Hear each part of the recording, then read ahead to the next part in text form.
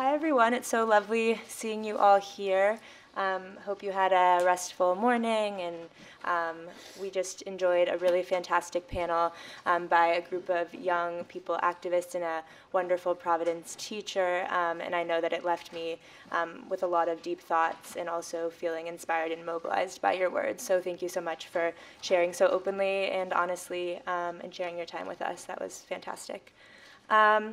My name is Sophie. I am graduating on Saturday, um, but tomorrow. tomorrow. um, so I guess this is the last time I will introduce myself as an undergrad at Brown. Um, but I've had the privilege of working with the Center for the Study of Slavery and Justice for the past three years, and with the Carceral State Reading Group, um, which Felicia will introduce in a moment, um, for a bit over a year now, and with Professor James for about six months. So um, I'll quickly let them introduce themselves, or I'll say my thing and then they'll introduce themselves. Part of our, we do things a little informally and conversationally, so um, I welcome you to invite, and join in that, um, that atmosphere. So, as I mentioned, um, I had the joy and privilege of meeting Professor James last April when she came to Providence for um, a big public event with the Carceral State Reading Group. And it was such a special day because she gave so fully to the group.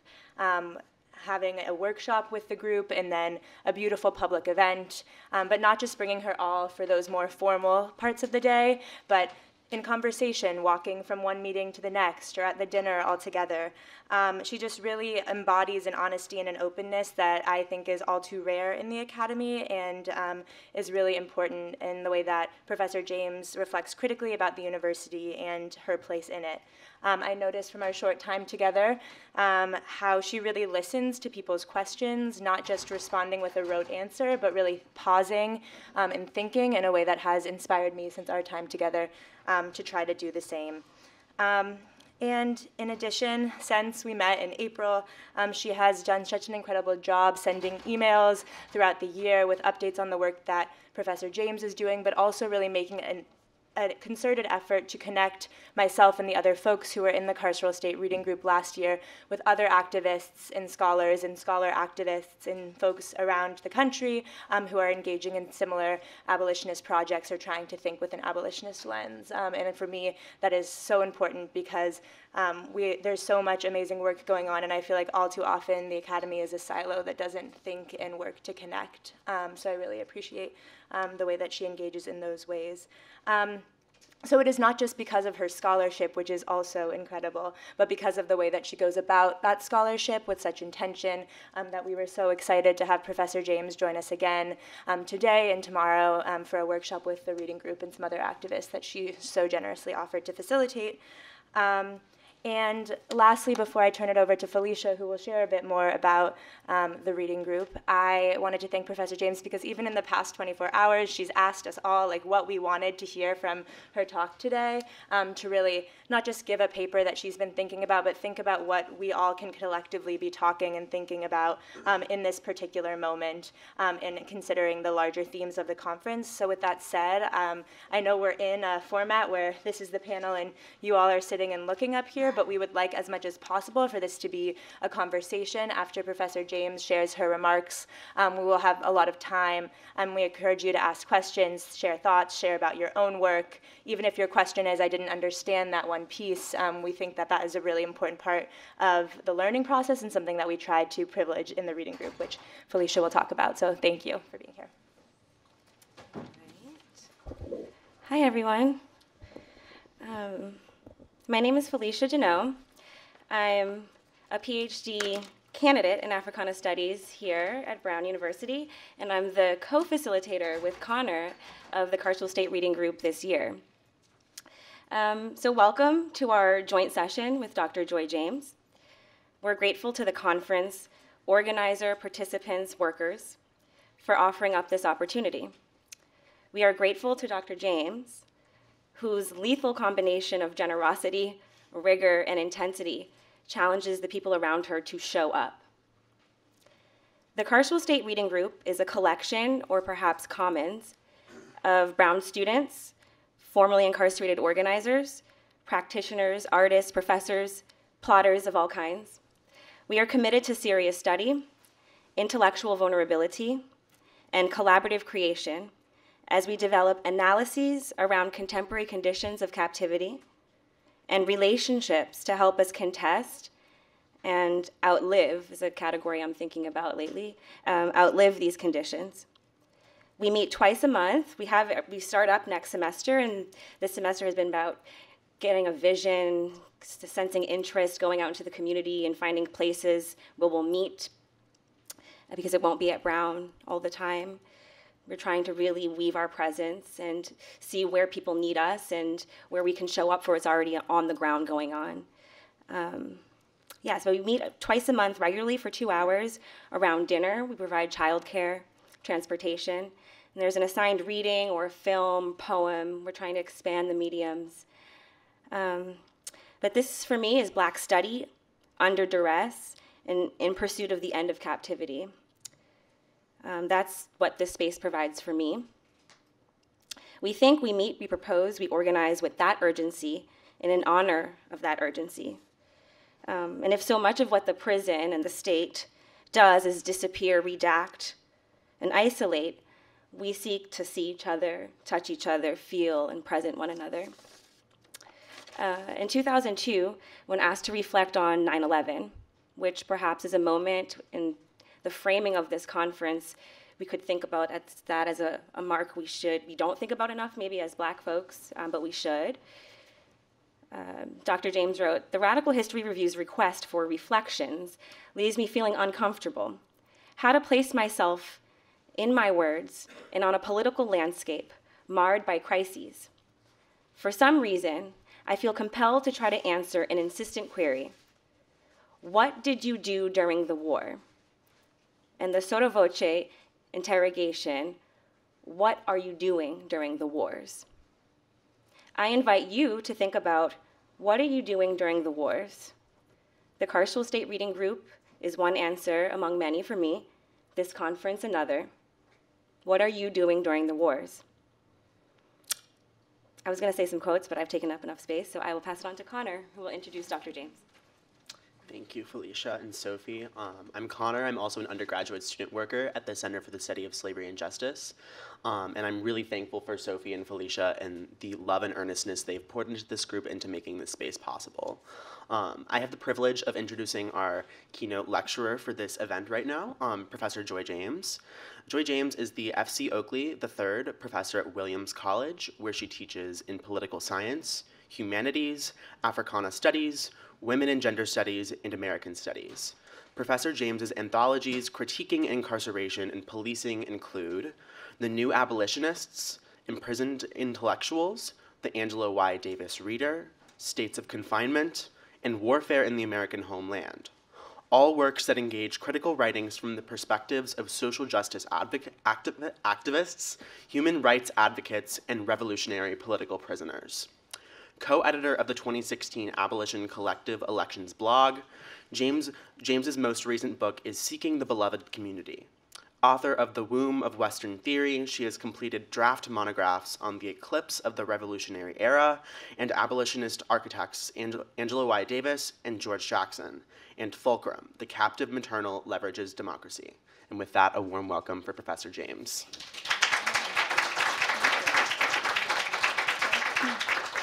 And then as I invite, um, I just wanted to quickly mention, um, first off, to, thanks to Kristen May, who co-facilitated the reading group last year, a PhD in Africana Studies, who's um, based in New York this year, so she couldn't be with us today, but the two of us co-facilitated the group last year.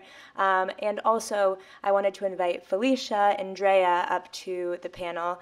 Um, inspired by the last conversation and kind of the ways in which the last panel very much intertwines with what we were hoping to talk and think about during this panel, we've decided to um, invite Drea and Felicia to join Professor James and be in conversation after Professor James presents her pa paper.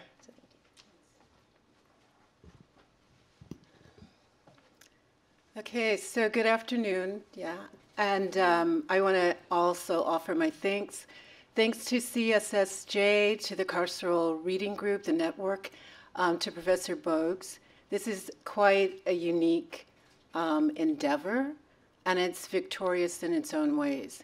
And particularly thank you to the students from MEP on the previous panel, because not only is it inspirational, it's also a reminder, um, being an older person who has younger people, of the necessity to leave a legacy, but also to learn from the legacies that are being created by the young, and to also take tutoring from them as well. So, my appreciation.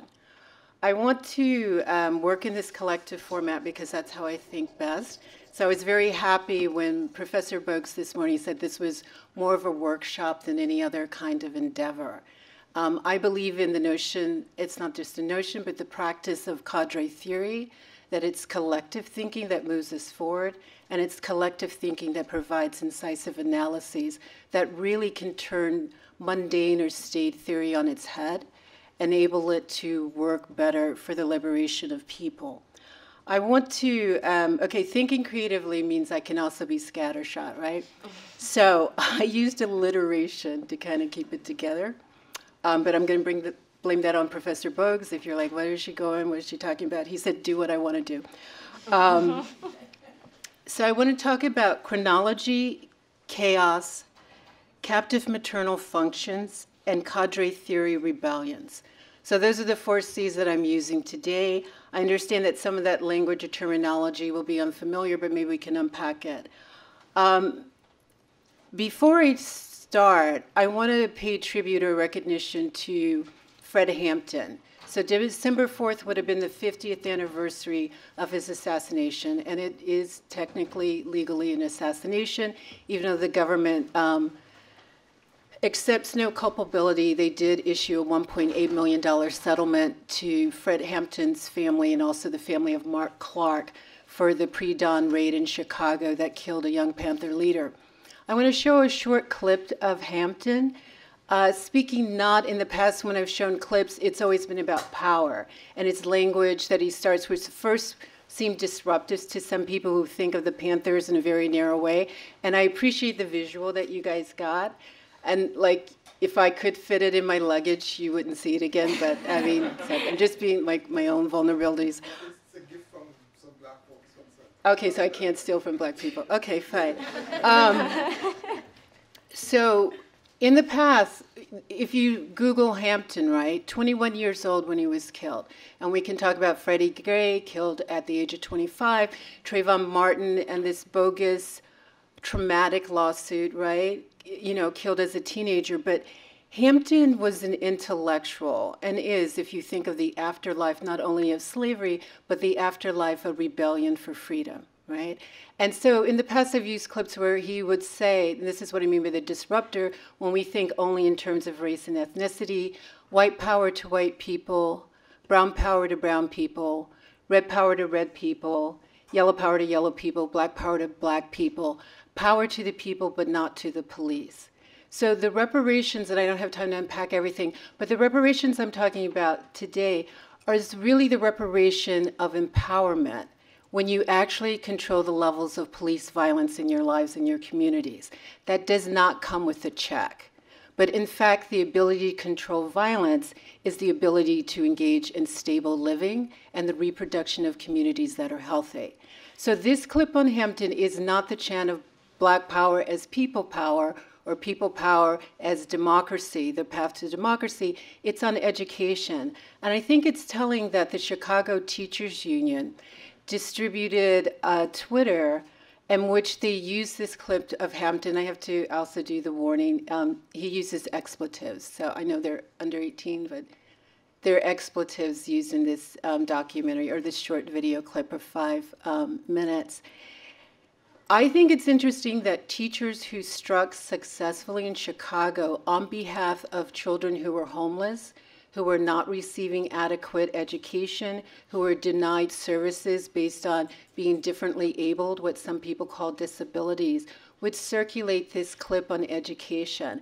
And it affirms for me, when I've looked at all types of political struggle and tried to be useful to some, it affirms for me the importance of education itself. And that education is not the privilege, as we know, of institutions, but it's the privilege of the streets.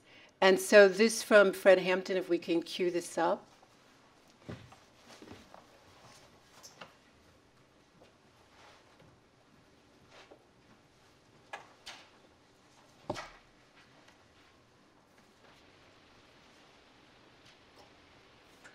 You basically knowing my ideology, basically you knowing me knowing yours, you can uh, support some of our programs. Is that what you're saying?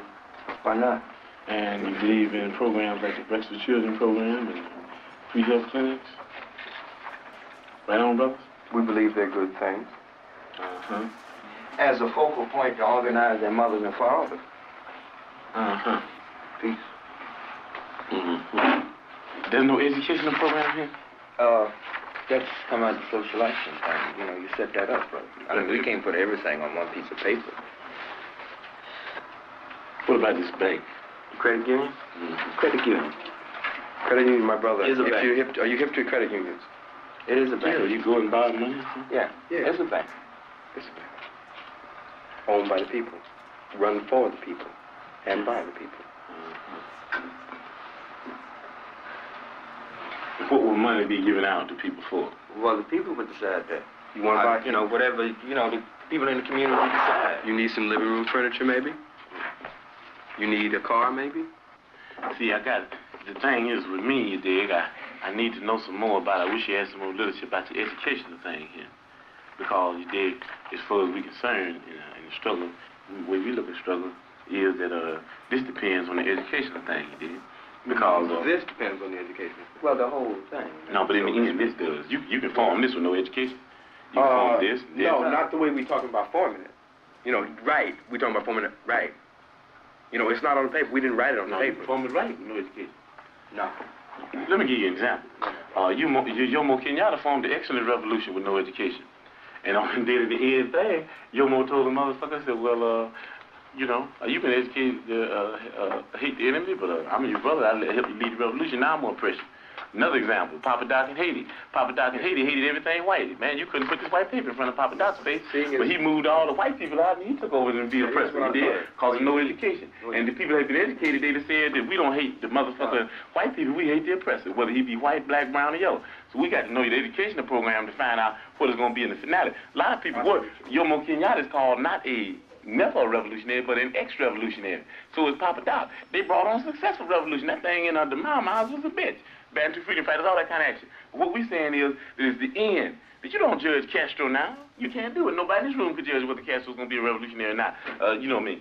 We're talking about things, you know what I mean, yeah, with uh, China, the People's Republic, and even at the stage they're in now, talking about even going on further into a communistic state. That's what we're talking about. Those are revolutionary. So we got to understand here the educational program that you have to be able to figure out whether it will go on the right lines where the people will end up in a situation where they can be able to really control themselves. You understand what I'm saying? Uh, with no education, the people to take this local foundation and start stealing money because they won't be really educated to why it's the people's thing anyway. You understand what I'm saying? With no education, you have neo-colonialism instead of colonialism, like you got in uh, Africa now, like you got in uh, in, uh, in uh, Haiti. So what we're talking about is there has to be uh, an educational program. That's very important. As a matter of fact, we are so important for us that a person has to go through six weeks of our political education before he can consider himself a member of the party, able to even run down ideology for the party. Why? Because if they don't have an education, then they're nowhere. You dig what I'm saying? They're nowhere because they don't even know why they're doing what they're doing. You, you might get people caught up in the emotionalist movement. Uh, you understand me? You might get them caught up in because they're poor and they want something. And then if they're not educated, they want more, and before you know it, they'll be capitalists, and before you know it, we have Negro imperialists. All right, so I'm gonna, one more minute and I'll start the reading. Um, so in the past, when I've had a critique of POTUS 44, which would be Barack Obama, I would speak of him as the first um, elected black president of the United States. But then increasingly, uh, after the 2008 election, I began to refer to him as the first black imperial president of the United States, right?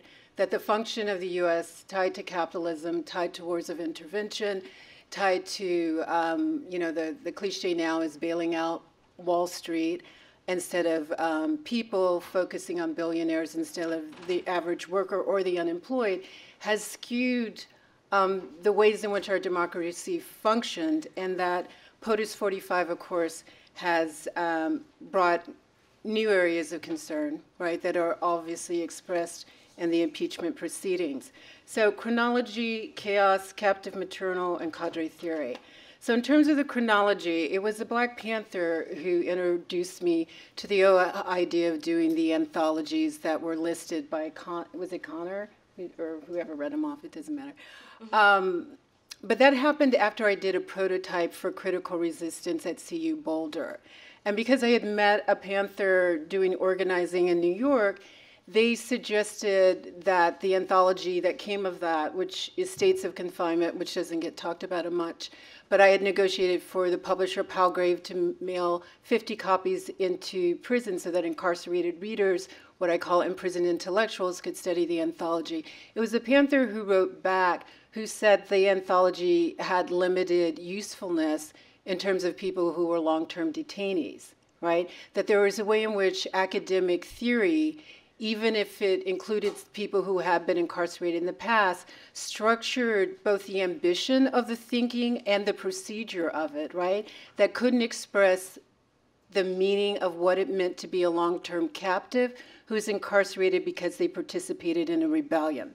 That particular uh, Panther that I'm talking about, and I can't say his name because he is still in prison, and we did that anthology like in 2002, I believe um, denied parole because he was engaged in a war. And I know there are different ways to define warfare, but in this historical era, and I, you saw Fred, I told you he was assassinated. In this historical era in which activists were killed, including those who were not engaged in violent activities, which would be Fred, who was a former leader of the NAACP youth wing, right? But did believe in armed self defense as the Panthers did. And this historical era, some people made choices.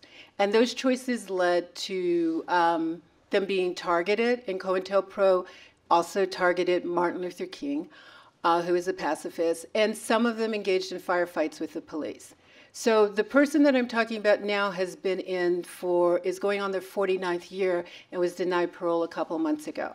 So for the last year or so, I've been wondering how do you free people who are considered a political threat, not because in the age of 78 or 79 they are a physical threat, but they are an ideological threat. Does that make sense? That the very ideas that they embody, right? The critique of capital, the critique of police violence, the desire not so much, and I think this came up in the previous panel, to integrate into a structure that does not open the doors for everyone, right? But to rethink the world, which I call um, a theoretical revolution, right? That that in fact becomes the crime that must be punished to death, right? That you literally you die inside. So the only way to gain traction, I thought, to bring attention to political prisoners. We did that like over a decade ago at Brown, where the undergraduate students were instrumental in doing the anthologies New Abolitionists and Prison Intellectuals. They did a lot of the groundwork, they helped organize the conference. The only way I thought we could do get, gain traction to bring more attention in this current era would be to link it to reparations. But the more I've listened to the discussions last night, both you know the presentation, but also um, at dinner, um, to the panels this morning, uh, and the panel that's to come, having a brief conversation with um, at least one of the participants. I don't believe that reparations as we think about it is possible unless we can actually control the levels of violence. I don't believe we can control levels of violence unless we can control to some way the executive branch, would be the POTUS. I don't think that voting by itself will be sufficient to control that level of administration in terms of governance. So the chronology is that a Panther inspired me to think, led to almost 10 years of anthologizing. My sense of futility in helping people get parole not because they don't deserve it. Clearly, they've met all the requirements for parole, but because you couldn't cut through the political ideology that prohibits revolutionary thinking, whether it's pacifist or not pacifist, has led me to the moment of what I would call chaos. And so, in this moment of chaos, this sort of gets embodied in one singular individual, which would be 45. Again, it's been said earlier on earlier panels chaos existed before 45 there was chaos under 44.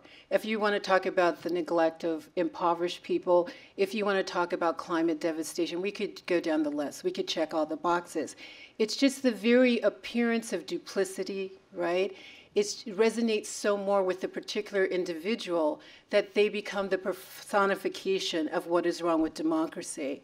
I am going to argue now as I begin to read about the captive maternal. I'm going to argue that democracy inherently has a predatory tendency in relationship, as Professor Bogues and others have said, it's preceded 1619, has a predatory habit or addiction to expropriation and exploitation of the captive subject as black. I'm going to define the captive maternal as an ungendered phenomenon, right? That it's not necessarily feminized in a female form. So this is not a form of black feminism, even though I did black feminism in the 90s. That sounds like that's a horrible thing to say. But I've, I'm not saying I moved beyond it, but I learned a lot from it. I don't think that feminism as an ideology can deliver. I don't think you know, socialism or, you know, Sanders, who I think comes closest to progressivism, the DSA, Democratic Socialist version. I, am a member of DSA and other groups, right? I don't think that uh, necessarily can deliver.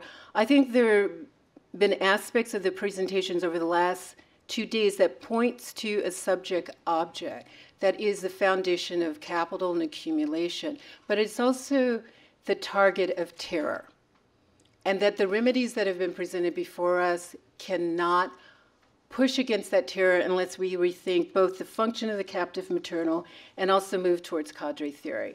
So I'm going to start reading, and I'm going to try to fast read. And what do you want to time me? You can do that. Okay. Let me know at a 20 minute mark, okay? okay? All right, so I think this upcoming election is really important. I think, again, this has come up. We should push against gerrymandering, voter disenfranchisement, et cetera, et cetera. But this upcoming election will not be sufficient. And I want to theorize then about the captive maternal, and I want to use three templates for it Sally, Michelle, and Deborah. And talk about the ways in which, even in our own black communities, we're fractured by where we think agency comes from and who we think holds the ideological um, template or key to open the door to whatever version of freedom we can get in this moment. So, into the breach, captive maternal Sally, Michelle, and Deborah. Here's a quote from Deborah Danner I smile rarely, but I am surviving. Variations of Deborah Danner's quote about battling schizophrenia might have been uttered by Sally Hemings or Michelle Obama. Women of African descent, descent who, as captive maternals, serve as historical markers for democracy in U.S. presidents. In The Womb of Western Theory, I discuss how ungendered, feminized caretakers of historically enslaved and disenfranchised black communities become captive to a predatory democracy. Denying black freedom and female child emancipation, such a democracy redirects the generative powers of oppressed caretakers away from rebellion and into stabilizing the reproduction of societies steeped in theft, trauma, violence, and consumption. American democracy is a continued rebirth of a lineage of captivity. Here, three black women illustrate the reproduction of policing by tacit or explicit permission from white or black presidents of the United States, referred um, from here as uh, POTUS. In the 18th century, Sally Hemings became Thomas Jefferson's enslaved concubine through his marriage to his half sister Martha. And I think it's important, like the other night, that you, where you use the the slave ship, right, as a schematic. I'm going to use Hemings as a historical um, construct. In the 21st century, Michelle Obama made history as the original official African American First Lady of the United States, or FLOTUS, through her marriage to Barack Obama. After eight years serving as the first black president of an imperial nation, POTUS 44 passed his presidential mantle on to 45. Donald Trump, the 21st century's first POTUS, to openly channel white nationalism and violent policing and militarism.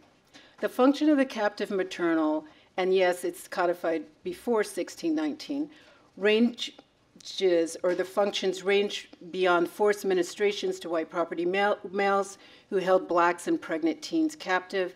Their lineage of coercion and consumption did not disappear as democracy evolved to permit black power simulacra and celebrations in which a Princeton Harvard grad metamorphizes from an anti-racist, quote, angry black woman, end quote, into a charismatic, glamorous FLOTUS, mothering a colorblind nation into civility. Democracy's historical predatory trajectory remains intact in the stripping of sovereignty, and sanctuary from captive maternals. Enslaved 200 years ago, Hemings wears her hard earned honorific title, FLOTUS, as a crown of thorns. How she rebelled as a CM or captive maternal has no written record. Jefferson's daughter, Martha, burned all papers um, about um, Hemings from her father's estate. Two centuries from now, we might have little knowledge of how Michelle Obama revolted against police and prison violence, devastating disenfranchised communities. Danner, though, leaves a clear record and blood trail of rebellion if we can remember her. Danner's diligence to escape her fate, about which she had prescient theory, entailed years of exhausting negotiations around family, social workers, prescription drugs, and poverty, NYCHA, which is New York City Housing Authority Public Housing, and the NYPD. Unlike FLOTUS's Sally and Michelle, Deborah's mental illness, blackness, and impoverished despair are stripped of romanticism and belonging. She reflects the microcosm imprisoned for violent policing, ineffectually mourned by 44 and championed by 45. Hemings augments Thomas's electoral college gains via the three-fifth clause as her or their progeny garnered votes for Southern slaveholding presidents. So, of course, Jefferson in 1800 could defeat John Adams because you get to count your slaves, including his children, by Hemings. Michelle Obama cheers multicultural liberalism to validate Barack's opposition to rebellions against state violence and capitalism. Danner's neuroatypical self defensive aggression is her death sentence, but Donald's homicidal boast that he could shoot anyone on Fifth Avenue with impunity promotes his path to the White House. Despite progress, presidential signings and decrees usher in betrayals. The 13th Amendment, which supposedly emancipated but legalizes slavery for those who are incarcerated, the 14th Amendment, which was to garner you rights, but then over time with the Supreme Court transferred personhood to corporations, which is how you get Citizens United, and unlimited spending because they're people or they have personhood. The Voting Rights Act was decimated, decimated by gerrymandering and voter suppression, which I mentioned earlier. Presidential powers, both symbolic and derived from executive powers, address, ignore, or exacerbate violent policing and imprisonment and the spatial dislocation of the black, poor, queered, and medically fragile. Executives control the police and prisons that shape the democratic womb to usurp and repurpose the generative powers of captive maternals. Constitutional norms historically offered few protections to captive maternals. White supremacist terrorism, police killings, prison violence, state executions, and lack of redress of rape, coupled with increasing restrictions on abortion, reflect how the civil rights of commoners dissipate before the powerful benevolence and or malevolence of elites and celebrities whose political advocacy refuses to battle police violence targeting the most vulnerable. On October 18, 2016, an isolated elderly black woman who had not taken her medication stood in her Bronx NYCHA bedroom in bathrobe. Robe. She clutched a baseball bat to ward off a white officer too impatient to wait for mental health mediators as police protocol required. Sergeant Hugh Barry's gunshot into Deborah Danner's chest would be officially declared as justifiable in a trial that acquitted him of three charges murder, manslaughter, and criminally negligent homicide. The year before Danner's police execution, Freddie Gray, who suffered from neurological disorders linked to childhood lead paint poisoning in subsidized housing, became a victim of police homicide on April 19, 2015. The 25 year old severed spine in coma while in police custody, allegedly from a shackled, quote, rough ride in the back of a police van. And I'm sorry that I didn't mention before about like some of this content is um, disturbing and uh, secondary and tertiary trauma, I imagine, led to Baltimore rebellions. In a national address, 44 castigated protesters as, quote, thugs. He later retracted the pejorative and lamented the absence of adequate support for poor families, which in fact is the role of function of captive maternal and claiming, um, as POTUS did, the inability of the president to, quote, federalize or control predatory police personnel. So then, in fact, what Obama did was to say that he was a victim of his own police forces. Gray's death sparked the burning of city real estate, while Danner's death symbolized spatial dislocation, distance from the streets, and most political memories of lynching to embody the black, impoverished, feminized sufferer whose only mother is herself. So, because she was schizophrenic, her family essentially abandoned her because she was, quote, too much to care for, which, you know, I don't fault them for given the lack of services in New York City. Danner's devastating demise at the hands of police is met with a more muted response, given that most recognizable vulnerability is framed by masculinized black youths, who also shoulder captive maternal vulnerabilities and functions. A tragic representation of violent policing mourned by 44 and championed by 45, Danner remains an anti-FLOTUS, lacking personal beauty, a personal attachment to a powerful man, her combative stance against violent policing registered less as political disaffection and more as mental illness for the public who is even concerned about her demise. Without masculinity or family kin actively preserving the memory of her murder, and so we recall, right, the mothers of the movement who became um, surrogates for Hillary Clinton kept, and that would have been Trayvon Martin's mother, Sandra Bland's mother, right, um, kept the memory of their slain youth alive. So in the absence of a family, right, of a parental or sisterly or brotherly um, agency, one disappears in terms of their homicide at the hands of police. So there's no rebellion for Danner as a gravestone, while there is a rebellion for others, right? Danner's death does not easily survive then in political memory. Her political anonymity as a fighter, not just a victim, connects plantation, which would be Hemings, university, elite university, which would be uh, Michelle Obama, and public housing.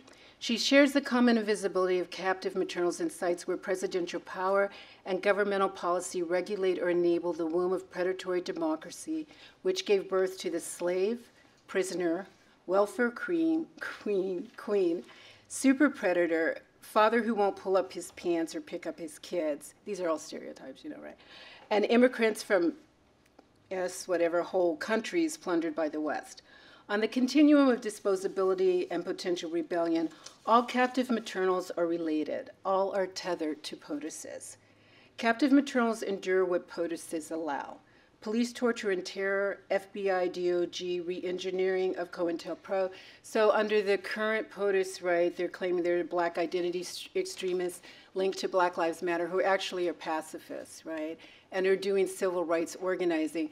But if you can link them as black identity extremists at the same time white supremacists are doing mass killings, you can deflect attention from white supremacists doing mass killings and focus on black civil rights activists by criminalizing them. We also face, there is the march outside now, climate devastation, environmental racism, schooling, as it was noted, that fails our youth and children, criminalization and neglect of those who are differently able. And even though I don't want to go on about Greta Thunberg, she is interesting, right? Because in one part, she claims that Asperger's is a superpower. So I was starting to think when I was listening to the panel about trauma, is it possible that our trauma could be a superpower? That the way that we're wired with hyper attentiveness to threat, that the way in which stress works its way through our systems could actually not be just a deficit, but an enabling capacity. I could go on with the list. I'll move forward to the close. Democracy's predatory womb tears as government employees violently terminate the mundane living captive maternal savor. And I don't have time to go into these specific, but you're aware of these cases and we could talk more. And the mundane living, I'm saying, is about people who not necessarily saw themselves as activists or agitators, but as caretakers of their community and can, so that their capacity to love would be what would be, um, in ways, a salve or corrective to the trauma they experience. So the two I cite here are Botham Jean, eating ice cream while watching television, and Atatiana Jefferson, babysitting in a late night breeze through an open front door.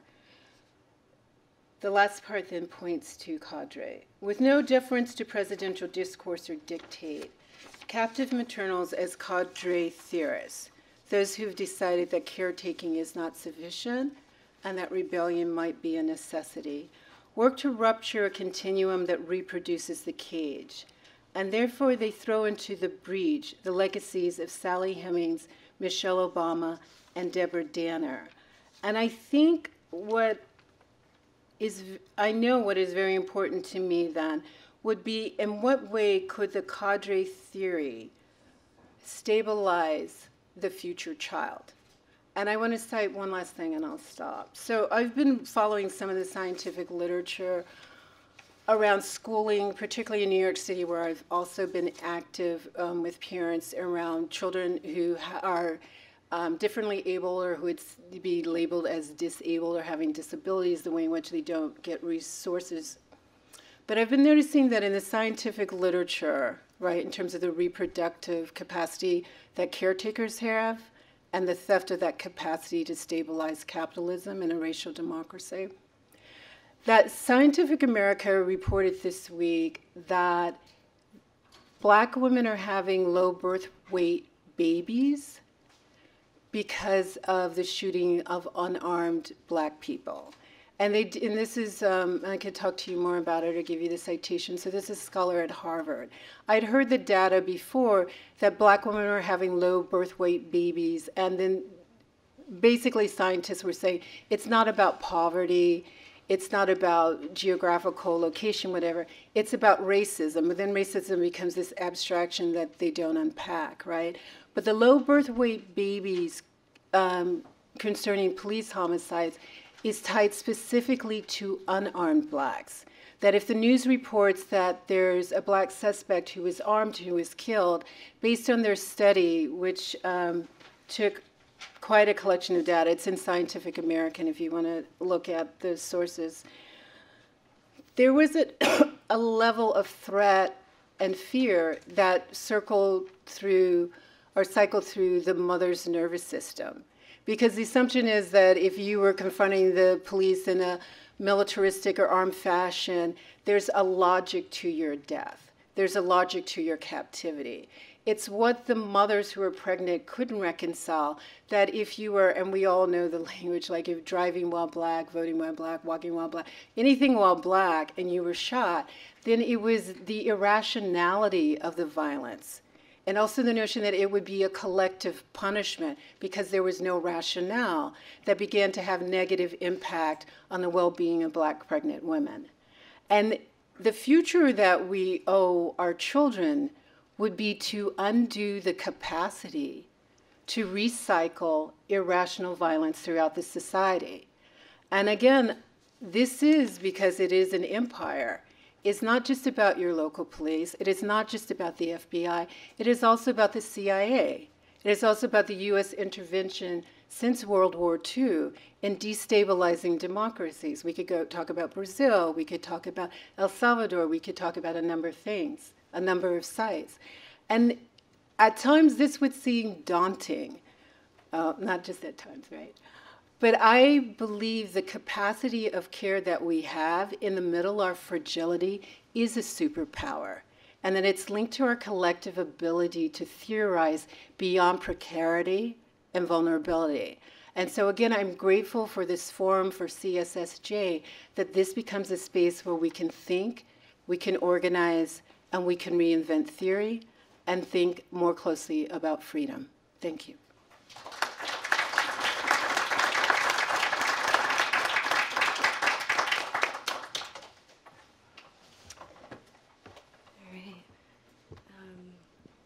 Thank you, Dr. James. That is this on? Yeah.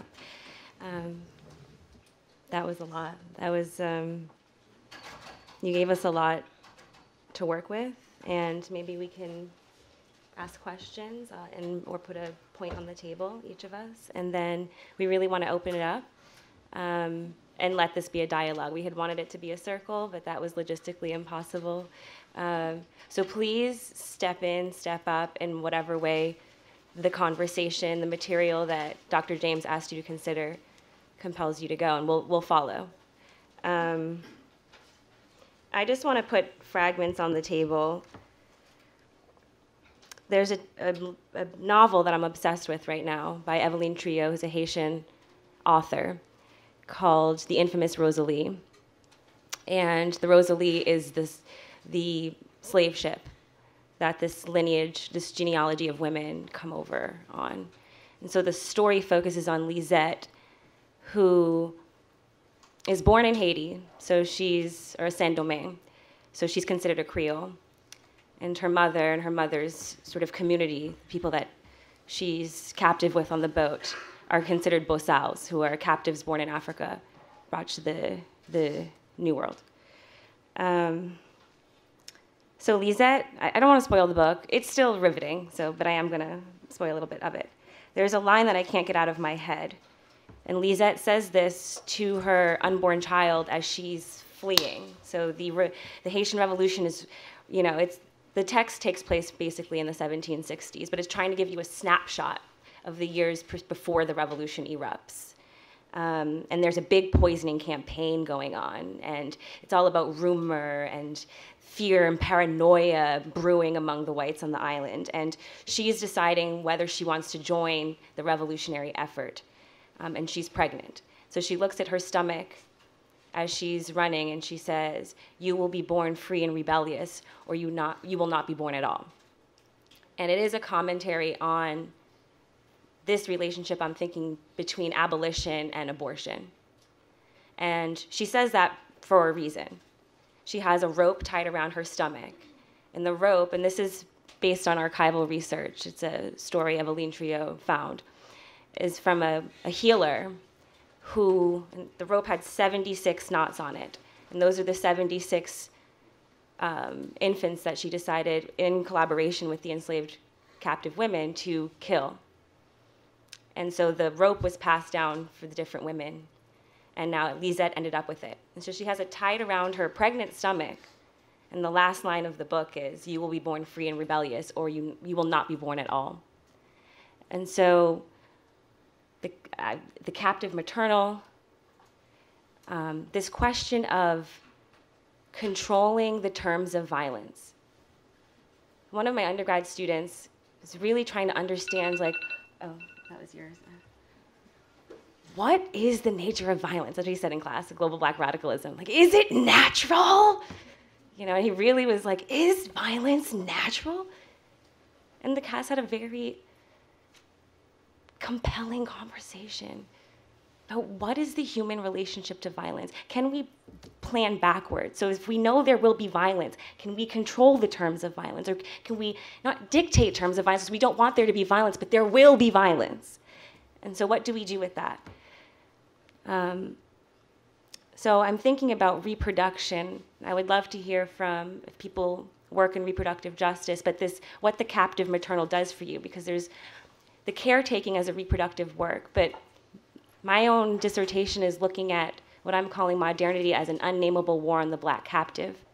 And the stakes of the unnameable war are to produce not just power, but to make power.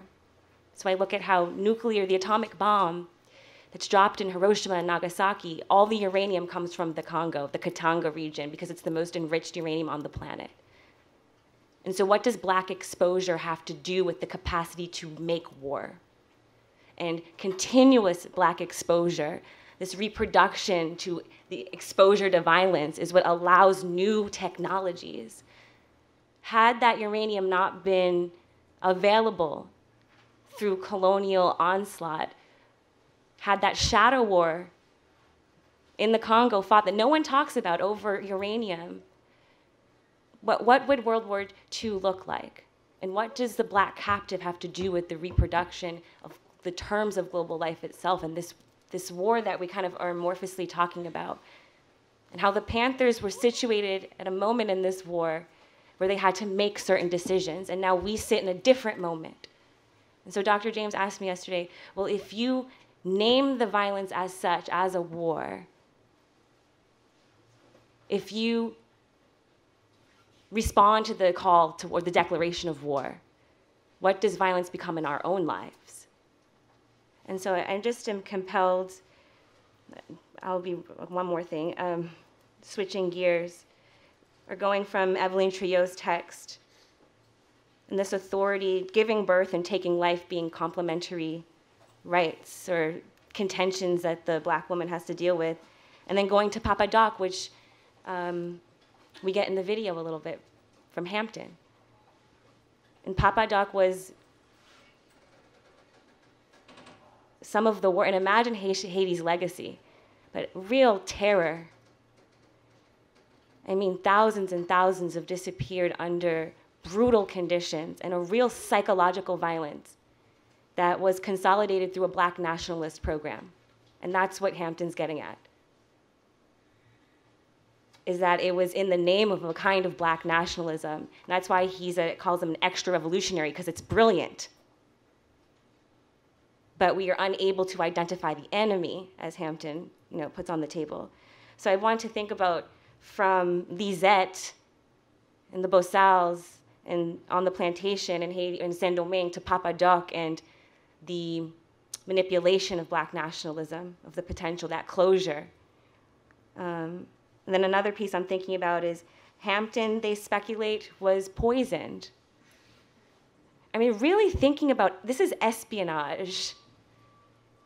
And then other captive maternals, we have Korryn Gaines in Baltimore, who we also had lead exposure, in addition to Freddie Gray. And so I'm, I'm thinking about how do we start identifying, or what do all these scales mean? Where lead, uranium, blackness, war, and how do we start, and then what is the risk of identifying this and naming it as such? And I don't know, how do we develop that language? But I have a lot of other thoughts. Thank you, that was very um, rich. And I'll want to turn it to you and to see if the piece on education um, because that's what your panel was on before. Um, what resonated with you from what Hampton said or uh, Dr. James's remarks? But thinking about maybe violence is on the table, um, educate. You guys are talking about healing a lot. So I don't know. After hearing all of these remarks, where are you at with healing and the idea of trauma being like a cognitive? I don't want to call it a cognitive opening, but a theoretical revolution where we have to think otherwise because they forced us. I don't know. I'm thinking about those things, but yeah, where does this leave you? Um, so I did some. So I did some readings, um, actually, that you guys have done for Carceral State Reading Group um, on Freddie, um, Freddie Gray, um, Fred Hampton, um, and as I was reading, I was, I honestly wasn't shocked. Um, it came as, oh, okay. Hmm. Like it was kind of normal to me hmm. because of the fact of how the sim- the system works with people of color and um, black people. Um, it was kind of I was reading it and like I was like, oh, like I had empathy and I had I felt you know, I kind of felt the pain of him um, and what happened, and I, but it was normal to me because of just the simple fact of how society is today and how it was back then, and how it has continued, and in different forms. Um, I think that it's the way that society is today is we have to um, bear we have to live with that trauma and be aware and be um, kind of prepared for the trauma. Um, I think that mm.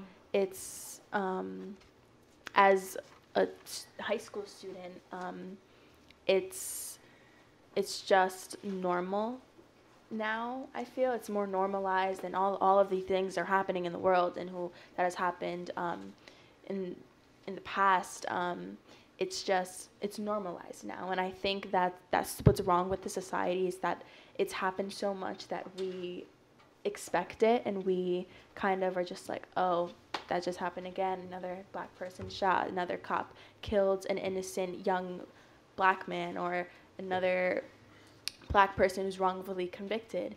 Um, and I think that it's just abusive power, and we're just kind of set to we're kind of taught to not really fight against it, but more to just accept it as it is.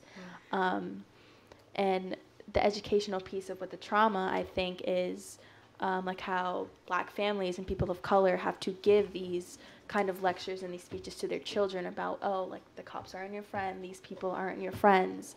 Um, if this happens, do this and this and this. And um, you kind of have to mentally prepare and kind of have to prepare your children and the generations after and even yourself and it's hard but it's normalized in the society and i think the educational piece today is just um, kind of taking it in and accepting it but it's like if we try to fight it it's wrong yeah i'm trying to say i don't know i don't know if i explained that Yeah, right yeah. yeah They want you to have an understanding of your own kind of condition Yeah. without moving against it. yeah And yeah, education is about toeing that line, about telling you something maybe about history, mm-hmm. but not enough where you feel where the call to riot. yeah Yeah. Yeah. Um, Yeah, so thanks for that, both of you. Yeah, I feel that if there's a dichotomy between black suffering and black rebellion, and I'm not saying black rebellion equals a riot, right? Um, because there's different kinds of revolutionaries. Like Martin Luther King was a revolutionary, definitely at the time that he was assassinated, because he had a critique of capitalism and he had a critique of the war in Vietnam, which was imperialism. But that's also when his funding dried up and when civil rights leaders stopped returning his phone call. So he still had the same spiritual template, right?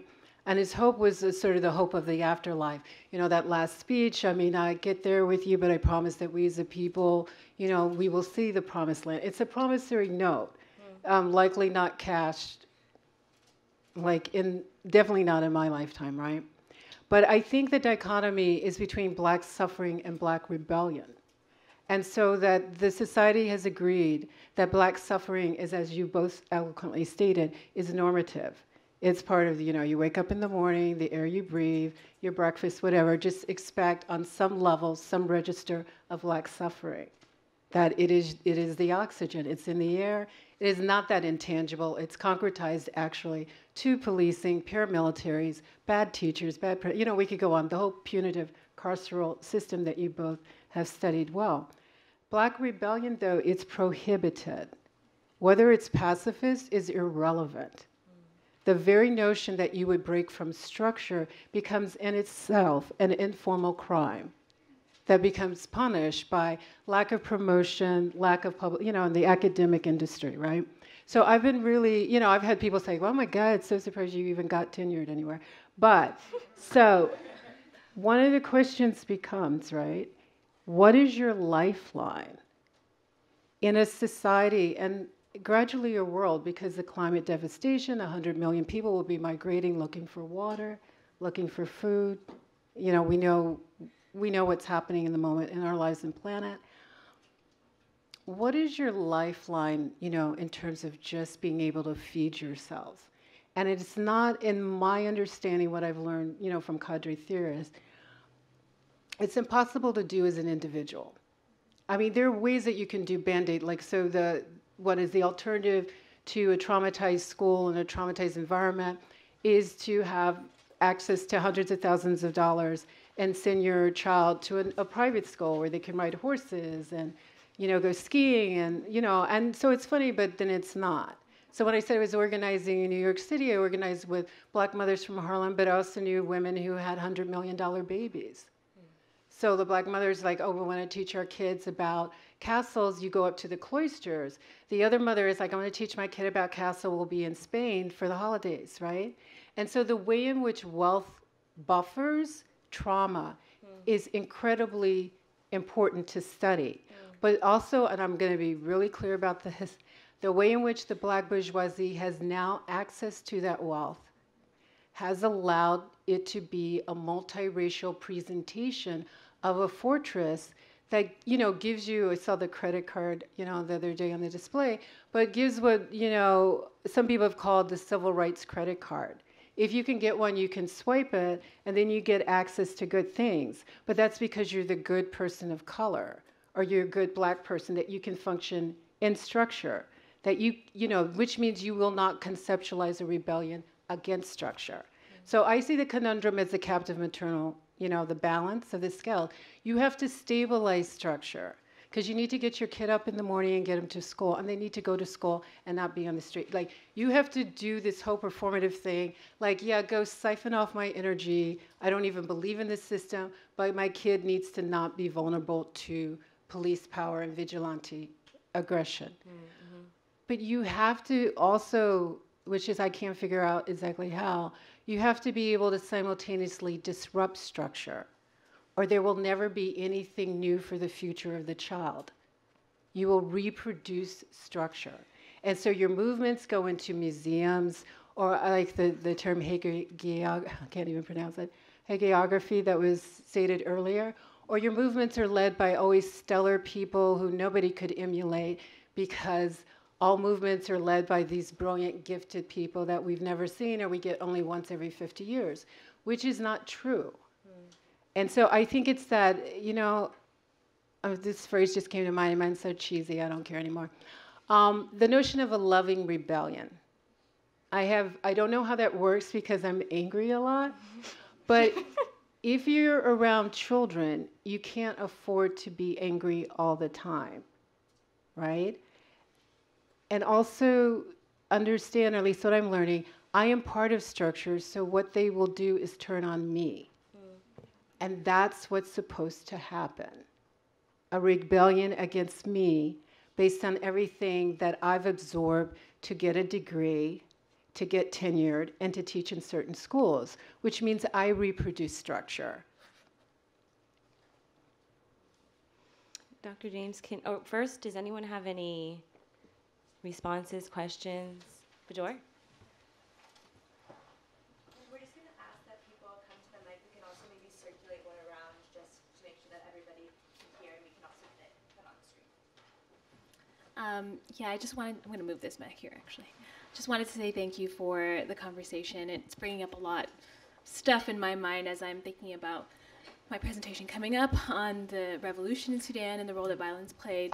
Um, and I find it really interesting, Felicia, what you mentioned about, you know, the Rosalie, because it, it brings to mind, you know, Toni Morrison's clarifications on what the act of um, infanticide actually meant hmm. in Beloved, right? Because most people assumed that it was that she wanted to spare her children from the experience of enslavement. And when she clarified, she said, no, actually, it was a statement to the school teacher that you do what you want with what's yours, and these children are mine, so I do what I want with them, mm-hmm. right? Which is a very different thing from simply wanting to spare children from the actual experience of slavery. So, you know, what does it mean to kind of shift the understanding of even those refusals, which look one way on the surface, right? But then when you lift the veil, there's a there's a much more pointed critique of what's at stake. Um, and in thinking about in thinking about violence, there was a point in Sudan in which things turned, right? It happened really slowly and then all at once. So in a way, people had a long time to think about things and also didn't have a lot of time to think about things uh, as they were happening. And um, the question that I think we're going to have to ask is what are we going to do when things turn? Because they're going to turn. And it's happening really slowly, but it's also going to happen all at once at some point. And so the question becomes what are we going to do when things turn? In Sudan, they did things a certain way because a country that had been at war constantly um, for you know 60 years, and the president was a wartime president. So for them, the break with the state meant putting down weapons because that society had never actually been demilitarized, right? Mm. Um, so for them, it meant putting down weapons. But the question I think we have to ask ourselves is, what are we going to do when it turns, right? And what are we willing to do? Um, and us as you know elites, as we were talking about yesterday, are we willing to go? And if we go, I think we should be willing to go. And if we go, are we going to go willingly or are we going to be forced? I would rather go willingly personally, but um, yeah. Any responses to Bajor's provocation that perhaps in the Panthers formulation, there's we have to have a, a reading of the times and a, a sense of time and seizures being one way of like reading time and um, I don't know. So maybe folks can think about the things that Bajor put on the table. Um, um, can, yes. So I'm really interested in Beloved, like in terms of my reading, like based on the Margaret Garner story, right, which is historical fact. I always felt, and I could be wrong in this, but I always felt that Morrison had the black community um, discipline. Is it Sethe? The, the parental figure, for taking on the powers of a sovereign. Like Medea can do it in Euripides' play, right? and walk away after killing Jason's children. Mm. And there's no this whole like the community is going to crash down on Medea. And, no, she's the daughter of like a sun goddess or something, right? But the, the notion that black people would, and I'm not, I obviously I'm not recommending that, but the notion that black people could assert that sovereign right, the right of a deity, seems to be prohibited right? And then when I read Octavia Butler's sci-fi, though, mm. it like you know the wild card just sort of appears in different ways. Like the notion of what is prohibited is not even a factor because we're already in the terrain of the surreal, right? I feel like there's there's a practicality to Morrison. Um, that you know is brilliant in her prose and her writing, but also tethers us to the known structure like in, in you know ways that could be productive but also that could be disciplinary hmm. that's interesting especially considering you're thinking about um, the right to save my child from a particular trauma mm-hmm. versus the right to a child or to do what I want. want. And so that's an interesting forms of possession and, and thinking maybe if we center the child, um, yeah. I mean, how do we get out of forms of possession and yeah. Okay, I gotta yeah. say one thing. Yeah. Somebody needs to ask the child what they want. Exactly. That's what I, I was like, hello, do yeah. I get a vote in this, right? It just seems. Um, one quick example. So when I used to work with mothers from Brazil who lost their children, right? And there, there would be stories about, uh, and in some ways it parallels what happens in the U.S. Like a paramilitary police killed your child, and then it would be we want to make amends, reparations, if you restitution. We can name a scholarship fund. We can give you monetary compensation. In the U.S., that's actually there's a sad irony to this, right? The compensation is paid by your tax dollars, which means black people are paying for the settlements for killing black kids, right? Um, but when they brought her to a meeting with her graduate student handlers and NGO, and she's sitting there in front of the officials, they're like, okay, basically, this sounds not nice, but here's the menu that we can offer you based on, you know, state procedure. And she made one demand that was unmeetable, which I consider revolutionary, which was resurrect the dead child. Essentially, if you want to act like a god, then be like a god and give me a resurrection. And then they walked her out, you know, you want Tylenol, you want water, okay, fix this and go back. And then she's like, okay, I had no to the Tylenol, take water. And they set her down at the table again. It was the same demand. And I see that in different ways with Erica Garner, right? Mm-hmm. That ABC crafted thing on the anniversary of her death, where Obama is there and Valerie Jarrett, and I've, I've spent a year just talking about Erica Garner, and she goes to the ABC. Um, you know, her father was killed in 2014. He was choked to death, uh, chest compression and choking. Um, by Pantaleo, New York City. Pantaleo was acquitted. She goes there thinking, being told, not just mm-hmm. thinking, that she can speak a tribute to her father's police homicide or murder. When she's get there, it's totally scripted. And it's like, no, you can't. The POTUS is going to speak. They're going to call on people, but they're going to say the right thing within structure. And so she storms out yelling. So after she dies, essentially, you know, from grief and asthma and poverty and stress, at the age of 27, leaving behind a seven month old and a seven year old at the time, um, this video appears. And there's pre- the president, there's Valerie Jarrett, who's his advisor, and there is Erica Garner. And the first thing Obama says is, You don't do it like that. Means that if you want access to power and redress, you work within structure. And then, of course, because he's very humane, he caught himself and he said, Oh, my condolences. Then he doubled down. You don't do it like that. You don't yell. You don't storm. You don't have abrasive conver- confrontations with people. Like the mandate of civility for grieving communities mm. is unbearable. And I think that produces another level of stress, mm-hmm. Right? But then there's no outlet to it because we're told the way to have, um, you know, any kind of remedy is to be deferential so with, when I was asking the Brazilian mothers, well, who are the captive maternals now? Because disproportionately it's their sons. It's not just the Brazilian mothers. I've worked with mothers in Chicago whose, um, whose sons were killed by the Chicago police. Who takes over? And this goes back to child agency. It is usually the eldest daughter in the household. Like your 11 year old, because now you're organizing to keep the memory of your slain child alive, what Deborah Danner, you know, did not have. Your oldest girl is the one who wakes up the younger siblings, right? And who gets them to school, who makes sure that they have lunch. Makes that. So it's just a reproductive labor that increasingly children are becoming the captive maternals of our communities.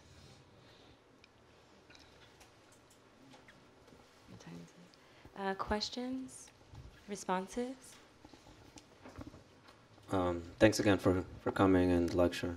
Um, you're, so I guess I have um, at least two questions. One, how does or how might uh, the concept of the captive maternal relate to the analytic of social reproduction as, um, as most commonly theorized by Marxist and materialist feminists?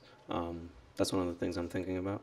Um, or and also how does it how might it exceed that analytic or complicate it? Um, and the other thing uh, more so relates to a lecture from the past semester where you came as well and talked about the counter revolution, um, like post the murder of George Jackson. Um, that brought to mind to me then um, your book uh, transcending the talented 10th um, and at the time, basically, I was wondering, like, how, how might that relate to the university as a site for the training ground of future cadres of black bourgeoisie and other neo-colonial bourgeoisies? Did you guys want to address that first? Sorry? Did you want to say anything, address? Um, well, it seems pretty t- Okay. directed towards you. I mean, I have thoughts on how the captive maternal destabilizes Marxist categories, but I'll let you. Okay. So um, I'll start with the talented 10th, right? So the, the reason I did the talented 10th is that Charlene Mitchell, who um, is in her 80s now and lives in Harlem, uh, she's the person who recruited Angela Davis to the Communist Party, specifically the Che Lumumba Party in the late 1960s. And so, you know, named after Che Guevara and Patrice Lumumba, um, in a moment when the CPUSA, which was predominantly white and middle class, felt that it would be third world revolutionaries that would, you know, be the beacon for, you know, black young people and people of color and white militants too, who wanted to have an analysis and put front and center analysis of white supremacy or racial capitalism and not the traditional way. And I think Professor Boat spoke to this earlier, right? That if you, you did the timeline, it's you you can't start with Marx, right?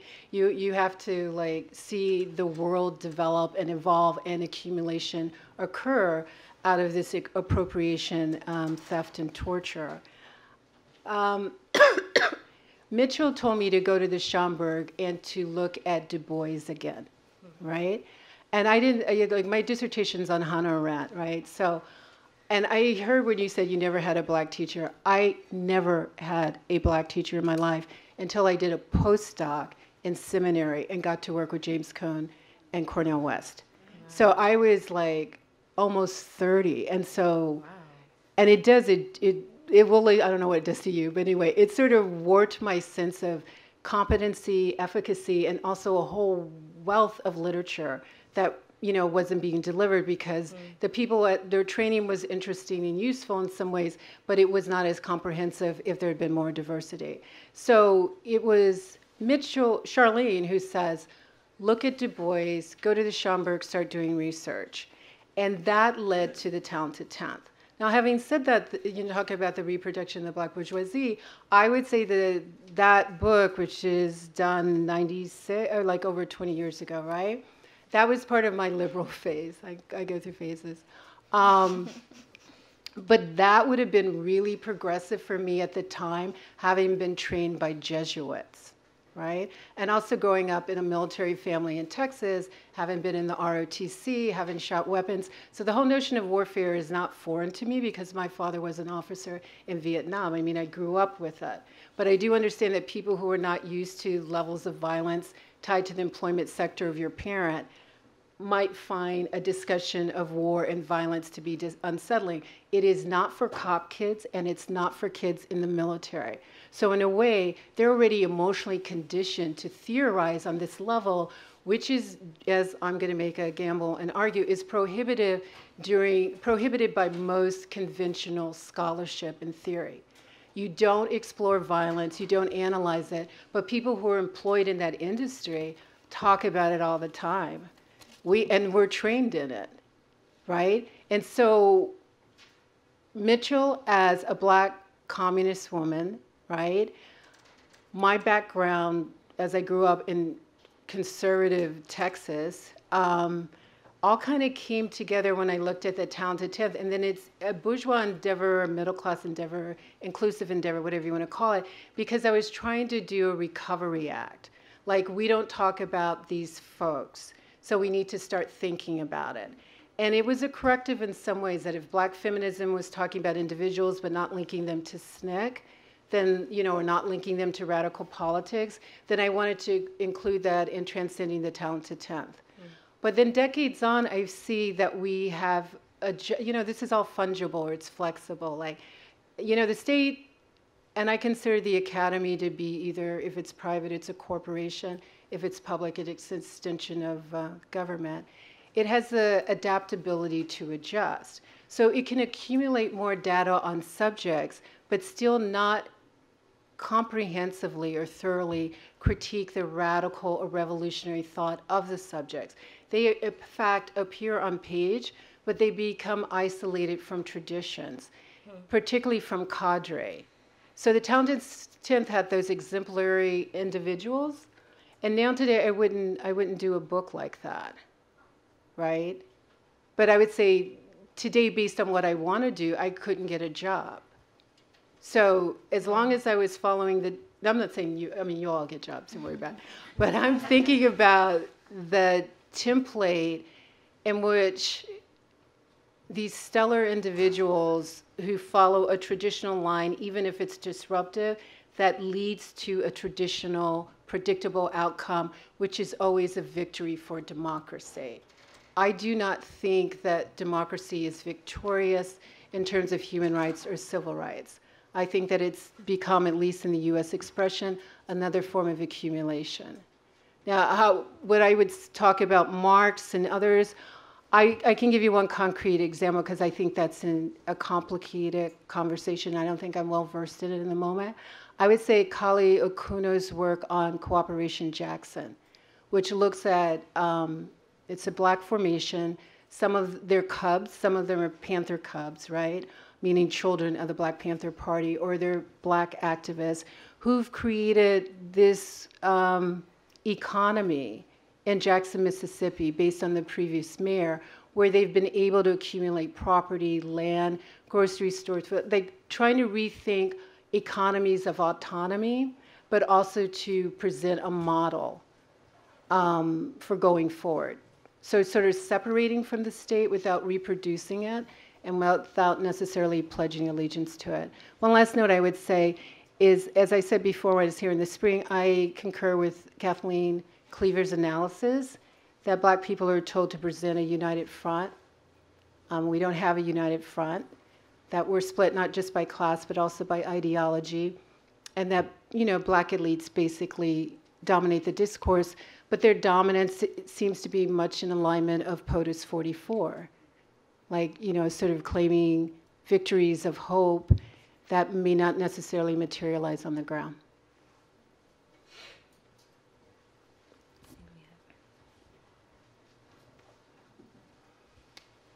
Hello, um, thank you all so much. Um, it's really wonderful to hear from each of you. Um, I kind of wanted to ask about one very, very small piece, um, Professor James, that you brought up, which was, um, and I, I know we're not necessarily talking about Greta Thunberg today, but her talking about how ASD is kind of a superpower, and you mm-hmm. briefly kind of meditated on the question of whether trauma can be a, a superpower or perhaps um, something that can be utilized. And um, I am right now because of where I'm situated, I'm always kind of thinking through the lens of the child welfare system, particularly in New York City, mm-hmm. and um, it, it, made me think about the way that a lot of people's prob- uh, trauma, um, particularly poor black and brown folks, are weaponized by the state against them. So, a, a young mother who um, and and for me, always um, always thinking kind of from the point of that poverty is is conflated, uh, neglect is conflated with poverty, and po- poverty is conflated with neglect in that system. How you know someone's past trauma is then weaponized against them by the state, and the state insisting that they're going to take away their child unless they do um, a, a million mental health services and unless they're medicated. And so, weaponizing someone's trauma against them um, and kind of taking away that, if, if it is a superpower, if it is a tool, um, taking it away from them and then weaponizing it against them. Um, so using that to medicate, to surveil, to control, and it kind of brings for me the question of if there are tools, if there are powers, um, how it gets it's it is subject to the predation of democracy, and um, what are the ways in which folks can then reclaim it back or have it not happen in the first place? Yeah, I think it's complicated, right? Because I spoke about Deborah Danner, and then um, based on the information I have, she was not on her medication when she was shot. So, I mean, some people will blame Danner for that. Like, if you'd only taken your meds for schizophrenia, your neighbors wouldn't have called the police because you were having a manic episode and screaming. And if you had been balanced enough, and she writes in that article, I mean, she, she worries about being killed by the police because um, Eleanor Bumpurs who is also an elderly black woman, had been killed by the police um, in her bathrobe in her home, like in the 1980s. And she was writing, I don't want to go out the way Eleanor Bumper did. And so, in some ways, this is shaming of people who have medical needs. Um, and then a demand that they provide self care for themselves, even if the healthcare system or the medical system is subpar but then add on to it that they're to be regulated as proto criminals or as those who would be likely. I mean, I don't have the stats in front of me, but disproportionately, when the police are shooting, um, you know, discharging their firearms, they tend to be um, more aggressive with people who can't follow their commands promptly. They're also aggressive if you do follow their commands promptly. So that's what I mean. It's like it feels like a toss of the coin at time, but. Um, the police position is we're not therapists or medical, you know, cadres, so why are you bothering us or calling us on these calls? And if you do, we're going to do what we're trained to do, right? Which, and they are trained also, obviously, among other things, to use lethal force. I think. I think the I don't I don't even uh, Ayami I couldn't even say comprehensively what to do other than to scale back the services because they're not real services based on some of the organizing that I've seen, they're actually punitive. Mm. I know parents in, um, and I also saw this in other states, where if a principal or teacher wanted you out of school, they could just, you know, write up a certain report or make an anonymous phone call, you know, that there's abuse at home or your child's so dysregulated. Um, District 79 in New York City, City is juvie, but District 75 is where they put the special needs kids. But that's a former juvie too. If you've ever been inside a District 75 school and seen, you know, kids crawling on the floor and barking and just being ignored because it's a it's a container that they're disposable. So the best I come to is, is how you would merge a certain kind of practicality with a certain kind of vision which would be to take back, as I said earlier, the policing functions of the state. Like one example is from Chicago. Last month, the National Alliance Against Racism and Political Repression reconstituted itself after 46 years. So it was formed in 1973, a year after Angela's acquittal.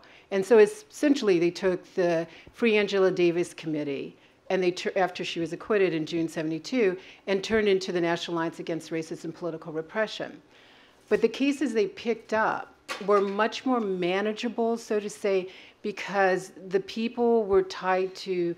I make the distinction, people say you shouldn't, between social and political prisoners, but they were more tied to the social. So Joan Little would be one case, right? So a black woman who's raped by a prison guard, right, in the early 1970s, who stabbed the prison guard. He died. She disappeared but was brought to trial. She actually, Angela writes an article on her for Ms. Magazine. If you think of Joan Little, and you look at her case history, she would have been in either foster care or some kind of therapeutic care based on what she'd been doing since she was an early teen, right? But those interventions rarely happen and they rarely happen well. But when the National Alliance is formed, this is what they try to do, and I hope it goes to the point. They're taking what they're arguing is the precarity vulnerability of people at risk with the state, and they're partnering it with political prisoners. So they're trying to close the gap, and they're saying the issue now is to fight. That was the refrain over and over again. They didn't say negotiate, they didn't say mediate. They're electing aldermen in Chicago to put forward um, a control of police. After they get control of the police, which is their mission, they've got 14 progressive aldermen. They want control of the mayor. They don't care the mayor is the first black lesbian. They still see the same outcomes. After they get control of the mayor, they're going for the governor, they're going for the president. And that's what I was trying to say about the POTUSes. Unless you control the executive branches that authorize the use of force, you cannot control your reality and the level of trauma and dispossession in your lives or the taking or removal of your children. You have to track the violence and see who gets to authorize it. And then you need to create a path towards whoever can legally authorize the level of violence in your lives. Most people or most institutions seek remedy and repair. They do not seek a confrontation with the authoritative executive permission for violence. And maybe it's my military, like chain of command thing, but it's the person who says you can shoot with impunity, like the POTUS, I could shoot somebody on Fifth Avenue and still walk away with it. That's the person that you eventually want to influence and corral. Um, so thank you all so much, um, and thank you to our panelists and to those who participated in the conversation. I know that we have some students who need to get back to their classroom, and we also have another panel coming up. Um, but this conversation can and must continue. So for those who want to, I mean, not in this structure, but in our lives.